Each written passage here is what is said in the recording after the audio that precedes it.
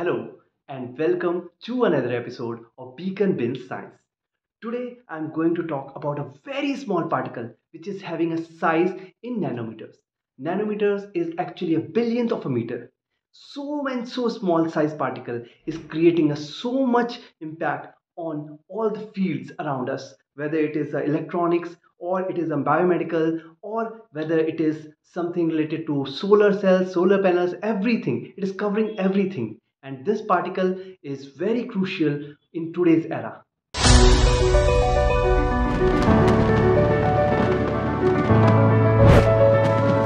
In 2023, three scientists named Moungi Bawendi, Louis Brus, and physicist Alex Ekimov in chemistry shared a Nobel Prize. They received a Nobel Prize for the discovery and synthesis of quantum dots the things that light up TV screens and help doctor to see the blood vessels that fed tumors. A quantum dot gets its name because it is tiny dot of matter so small that it effectively concentrated into a single point. We can even call it a zero dimensional. It is so small that it can be considered as individual atom that is having well defined energy levels according to the law of quantum theory. But what are quantum dots made of? Imagine quantum dots are incredibly tiny building blocks and these building blocks are made of semiconductor materials. Semiconductors are like materials that are partway between being good conductor of electricity like metals and insulator like rubber. These quantum dots are often made from materials like cadmium selenide, lead sulfide or other semiconductor compounds. It's a bit like choosing different colors of Lego bricks to build something.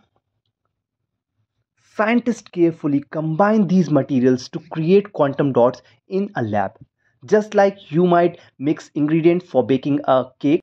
But how quantum dots are like magic pixels? Let's understand this. Imagine each quantum dot is like a magic pixel on a screen, and when you shine light on it or give it energy, it light up with a specific color. Just like the pixel on your TV or phone screen make up the image you see. Quantum dots are like vibrant colors. Here the interesting part, the size of the quantum dot dictates its property. Smaller dots have a higher energy level resulting in the emission of shorter wavelength light, often in the blue region, while the larger dots emits longer wavelength light such as red. This tunability is a key feature allowing scientists to precisely control the emitted color. It's a bit like having a box of crayon where each crayon is a different size and give you a different color. Now the serious question comes. Why this small size particle emitting a blue light while the large size particle are emitting a red light? Let's understand this with the example of trampoline. Imagine you have a small trampoline and you are bouncing a boy or a girl on it. If a trampoline is large, the boy or a girl can bounce freely and doesn't need much energy to go from one bounce to the next. However, if you shrink the trampoline to a tiny size, the boy or a girl can't bounce as freely as it was doing because it confined in a smaller space. Now let's relate this to quantum dots. In a small quantum dots, electrons are confined in a tiny space similar to the boy on the small trampoline. In a quantum dots, electron can only exist at specific energy level, just like boy or a girl can only exist at certain height when bounce on the trampoline. Moving to the higher energy level, to make an electron from one energy level to higher energy level, you need to give it energy. Just like you need to give the boy more force to bounce higher on the small trampoline. So the tr- small quantum dots have limited space because of the quantum dot is tiny there is limited space for the electron to exist at different energy level. The energy level are like steps on a staircase to move the electron to the higher step you need to provide it with more energy so that you need to give a more energy to a small size quantum dots compared to the big size quantum dots. That's why the smaller size quantum dot shows a blue color more compared to the large size quantum dots which gives a red color while emitting the light. How to synthesize quantum dot?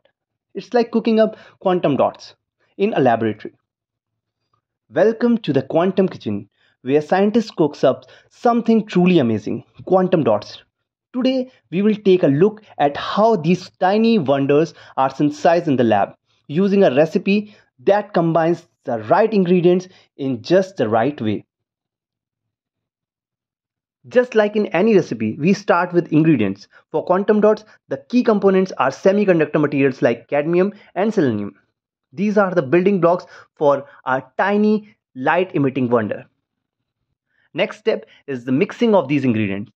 It's time to mix these ingredients. Scientists carefully combines the semiconductor material in a solution. It's bit like mixing flour and water to make dough, but on a much smaller scale and with specific chemicals. Now it's time to heating it up.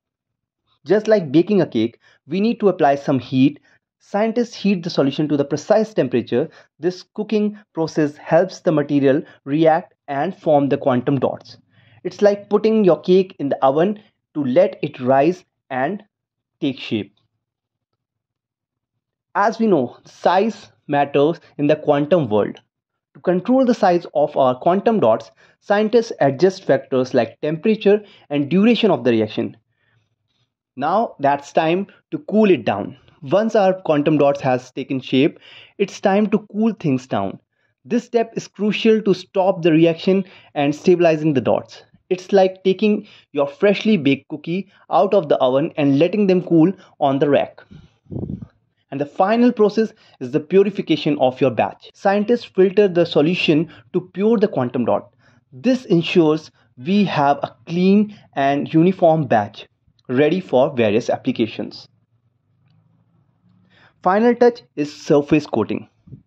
To give our quantum dot some extra flares and functionality, scientists might add a surface coating. This coating helps protect the dots and can be customized for specific applications. It's like adding frosting to your cake for both decoration. Thank you for watching this video till the end. Today we have learned what are quantum dots, how they are made up of, how can we make it in the lab and why they are so colorful, why they emit lights. All these things we are trying to cover in this section. If you want to know further about these quantum dots and do you have if you have any knowledge about uh, these quantum dots if you are doing a research on these quantum dots then please share your knowledge your experience about the quantum dots in the comment section. Till then stay safe. See you in the next video